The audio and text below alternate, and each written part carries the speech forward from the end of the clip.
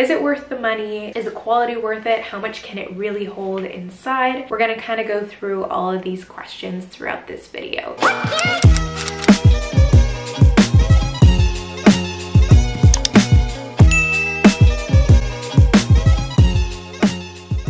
Hey guys and welcome back to my channel. Today's video is very exciting. We are going to be doing another luxury bag review. As the title of this video reveals, we are going to be reviewing the Loewe basket bag. I always thought the brand was pronounced Loewe, but apparently it's Loewe. So we're gonna go with that. This is the medium size basket bag that they offer. I've been eyeing this for years. Like I kid you not, it's been on my wish list for the last two two or three years, but just couldn't justify the price, especially because I live in Canada, I live in Montreal. This is just not an appropriate choice of bag for seven out of the 12 months that we have here. So is it worth the money? Is the quality worth it? How much can it really hold inside? We're gonna kind of go through all of these questions throughout this video. So before jumping on in into this video, don't forget to hit that subscribe button down below if you have not already, as well as give this video a big thumbs up for me so I know that you like this type of video, these types of reviews. So without further ado, let's just jump right on into this review.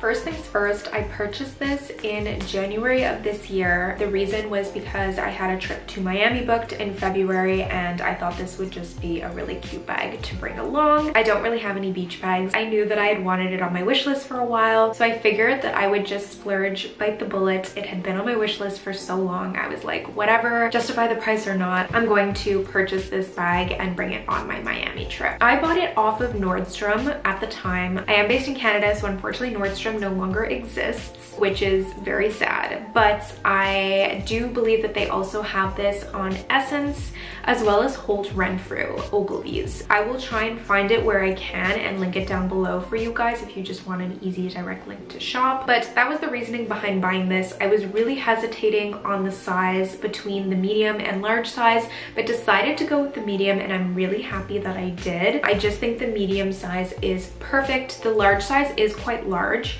can probably definitely fit a lot more than the medium size. For me, the small was way too small. I just was like, it looks kind of like a bucket bag and I was like, I want something that looks a little bit more like a beach bag, like something that's a little bit bigger. I can actually fit fruit in here when I go to the market in the summer, fit some flowers in there. Whereas the small, like you really, you can't fit anything in it. So I'm very happy with the size that I ended up going with. Although it looks a lot bigger than what it can actually hold. The size of the bag, like it looks like it's a decent size, but because of the shape, because because it's kind of like a funnel shape, like it's going in, the base of the bag is actually not very big. You can definitely stack up. So let's say you're putting your wallet and then a book on the bottom, that's pretty much all you can fit. But then you can stack on top so that it fills up to the brim. So if you have like a sweater you wanna throw in, some clips, your phone, you know, your headphones, you can definitely stack up, but the thing is, is that it's very open, right? Like there's no clasp to close it. So you have to be careful because items can fall out. On my trip, I did bring this as my carry-on on the airplane. So I did have quite a bit things inside.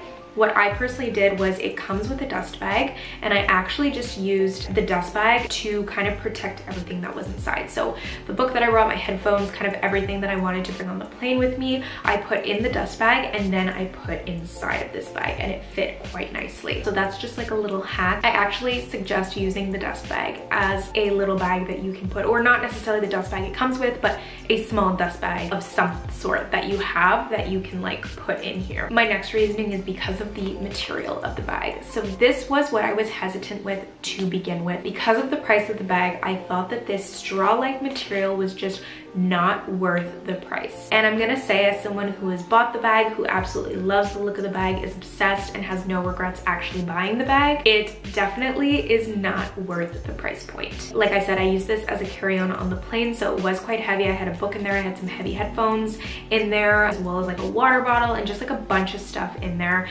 And it got to a point where the bottom was actually starting to cave a little bit. Imagine my brand new bag. I had, it was like my first time using it, I wanted to cry. This material is very flimsy. It's very easy to fall out. I think something literally just popped out. As you guys can see, there's like little frays already coming out of the bag. It's just, it's not great quality. Like look at the bottom of this bag The quality is just not there. You have to be very careful. I feel like it's very easy to like ruin this bag. I paid over $900 with this before tax.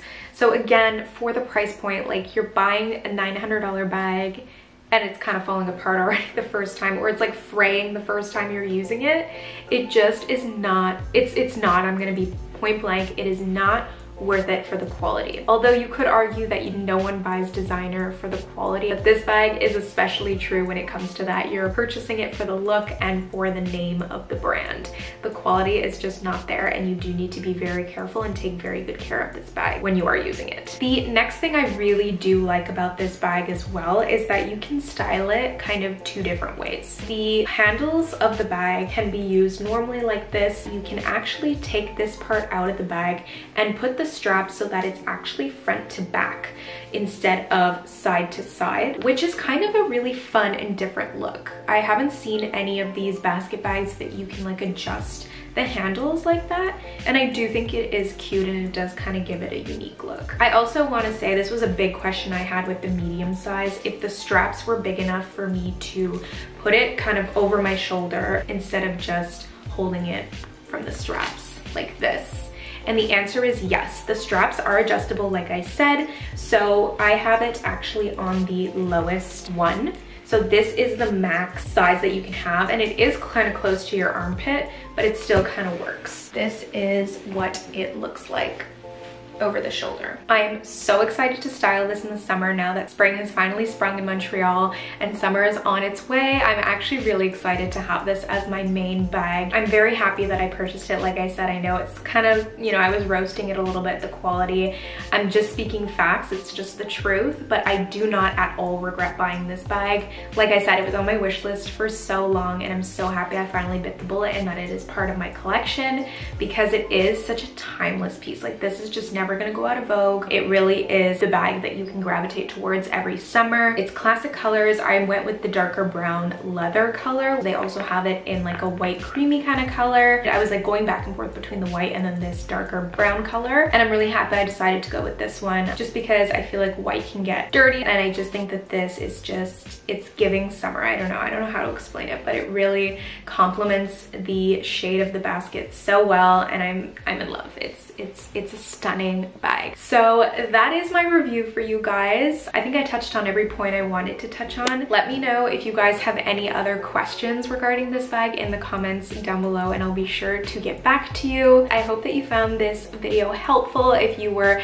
thinking of biting the bullet and purchasing this Straw Loewe bag. It's a question of your opinion, of what's important to you, what's not. Really what it comes down to. Some people are gonna think I'm crazy for splurging on such a bag that is just poor quality. But I personally, like I said, I have no regrets. I love the look of it. I hope you guys liked this video. If you did, please don't forget to give it a big thumbs up for me. And don't forget to hit that subscribe button down below as well if you have not already. And join our family here on YouTube. I love you guys so much and I will see you very soon with another new video. Bye.